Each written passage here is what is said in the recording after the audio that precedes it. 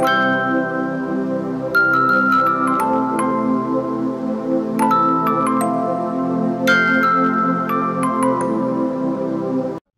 mừng quý vị và các bạn đã đến với bản tin dự báo thời tiết ngày hôm nay và ngày mai. Thưa quý vị và các bạn, từ ngày hôm qua thì độ ẩm trong không khí đã tăng nhanh cùng với sương mù xuất hiện trở lại tại các tỉnh thành Bắc Bộ, trong đó có cả thủ đô Hà Nội. Điều này khiến cho nhiệt độ không có điều kiện tăng và vẫn duy trì ở ngưỡng trời lạnh. Trong ngày hôm nay, thời tiết tại các tỉnh thành phía đông Bắc Bộ, bao gồm cả thủ đô Hà Nội vẫn còn ẩm ướt với hiện tượng sương mù, mưa nhỏ, mưa phùn xuất hiện trở lại trong thời điểm về đêm và sáng. Đến trưa và đầu giờ chiều thì trời sẽ hứng nắng. Mưa giảm hơn cùng với nền nhiệt độ tăng lên nên thời tiết sẽ ấm áp. Dự báo mức nhiệt cao nhất ngày mai dao động trong ngưỡng từ 23 tới 26 độ. Phía Tây sẽ có nắng nên nhiệt độ tăng và cao nhất ngày sắp xỉ ở ngưỡng từ 26 tới 29 độ. Sang tới ngày mai, không khí lạnh suy yếu nhanh, tạo điều kiện cho vùng thấp nóng phát triển mở rộng. Nhiệt độ sẽ có xu hướng tăng nhanh hơn, cao nhất trưa chiều vào khoảng từ 24 tới 27 độ, có nơi trên 27 độ. Tại khu vực Tây Bắc có thể lên tới 27 tới 30 độ, có nơi trên 30 độ. Nắng nóng cục bộ có thể xuất hiện ở một số nơi như tại Điện Biên, Sơn La. Với các tỉnh thành miền Trung, trong ngày hôm nay, do ảnh hưởng của không khí lạnh nên các tỉnh từ Quảng Trị trở vào đến Khánh Hòa có thể sẽ có mưa rải rác và thời gian mưa chủ yếu tập trung về đêm và sáng. Sau đó thì mưa giảm nhanh, trưa chiều trời có nắng trở lại.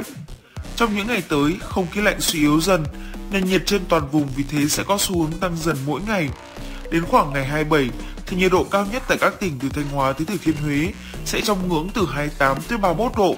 Còn tại khu vực từ Đà Nẵng tới Bình Thuận nhiệt độ cao nhất có thể đạt ngưỡng từ 29 đến 33 độ, có nơi cao hơn. Tại các tỉnh thành phía Nam bao gồm khu vực Tây Nguyên và Nam Bộ, những cơn mưa trái mùa còn có thể xuất hiện cục bộ về đêm và sáng tại khu vực vùng cao Tây Nguyên và chiều tối tại khu vực miền Đông Nam Bộ. Còn ban ngày thì toàn vùng trời có nắng gián đoạn, mức nhiệt cao nhất giữa trưa và đầu giờ chiều nhanh chóng tăng lên cao, ở khoảng từ 30 đến 33 độ tại vùng cao nguyên và từ 33 tới 35 độ tại các tỉnh thành Nam Bộ. Và tiếp theo, ngay sau đây sẽ là phần dự báo chi tiết thời tiết của các vùng trên cả nước trong ngày và đêm nay. Mời quý vị và các bạn cùng theo dõi. Khu vực Hà Nội, nhiều mây đêm và sáng có mưa nhỏ, mưa phùn và sương mù. Gió đông đến đông nam cấp 2, cấp 3, đêm và sáng trời rét. Nhiệt độ thấp nhất từ 18 tới 21 độ, nhiệt độ cao nhất từ 22 tới 24 độ. Phía Tây Bắc Bộ, nhiều mây có mưa vài nơi, sáng sớm có sương mù và sương mù nhẹ. Riêng khu Tây Bắc trưa chiều giảm mây trời nắng, gió nhẹ, đêm và sáng trời rét. Nhiệt độ thấp nhất từ 18 tới 21 độ, có nơi dưới 17 độ. Nhiệt độ cao nhất từ 22 tới 25 độ, có nơi trên 25 độ. Phía Đông Bắc Bộ, nhiều mây đêm và sáng có mưa nhỏ, mưa phùn và sương mù.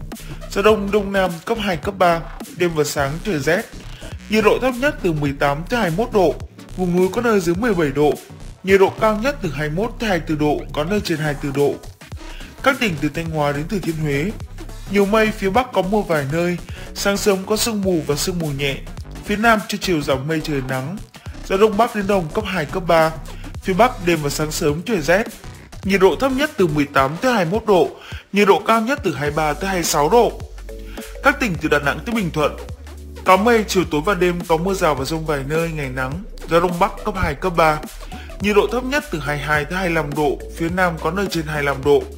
Nhiệt độ cao nhất từ 26 tới 29 độ, phía Nam từ 29 tới 32 độ. Tây Nguyên, có mây, chiều tối và đêm có mưa rào và rông vài nơi, ngày nắng. Gió Đông Bắc cấp 2, cấp 3. Trong cơn rông có khả năng xảy ra lốc, xét và gió giật mạnh. Nhiệt độ thấp nhất từ 19 tới 22 độ, nhiệt độ cao nhất từ 29 tới 32 độ, có nơi trên 32 độ.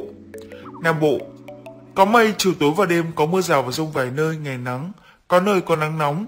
Gió Đông Bắc cấp 2, cấp 3. Trong cơn rông có khả năng xảy ra lốc, xét và gió giật mạnh. Nhiệt độ thấp nhất từ 23 tới 26 độ, nhiệt độ cao nhất từ 32 tới 35 độ, có nơi trên 35 độ. Dự báo thời tiết biển, Bắc Vịnh Bắc Bộ, có mưa vài nơi, sáng có sương mù và sương mù nhẹ, tầm nhìn xa trên 10 km, giảm xuống dưới 1 km trong sương mù, gió đông đến đông nam cấp 3, cấp 4. Nam Vịnh Bắc Bộ, có mưa vài nơi, sáng có sương mù và sương mù nhẹ, tầm nhìn xa trên 10 km, giảm xuống dưới 1 km trong sương mù, gió đông đến đông nam cấp 3, cấp 4. Khu vực biển từ Quảng Trị tới Quảng Ngãi có mưa vài nơi, tầm nhìn xa trên 10 km, gió đông bắc đến đông cấp 3, cấp 4. Khu vực biển từ Bình Định tới Ninh Thuận có mưa rào và rông vài nơi, tầm nhìn xa trên 10 km, gió đông bắc cấp 4 cấp 5. Khu vực biển từ Bình Thuận tới Cà Mau có mưa rào và rông vài nơi, tầm nhìn xa trên 10 km, gió đông bắc cấp 5. Khu vực biển từ Cà Mau tới Kiên Giang có mưa rào vài nơi, tầm nhìn xa trên 10 km, gió đông cấp 3 cấp 4. Bắc Biển Đông có mưa rào vài nơi, tầm nhìn xa trên 10 km, gió đông bắc cấp 5. Quần đảo Hoàng Sa có mưa rào vài nơi, tầm nhìn xa trên 10 km, gió đông bắc đến đông cấp 4 cấp 5. Vùng giữa Biển Đông có mưa rào và rông vài nơi, tầm nhìn xa trên 10 km, gió đông bắc cấp 4 cấp 5. Vùng Nam Biển Đông có mưa rào và rông vài nơi, riêng phía Nam ngày mai có mưa rào và rông rải rác. Trong cơn rông có khả năng xảy ra lốc xoáy và gió giật mạnh.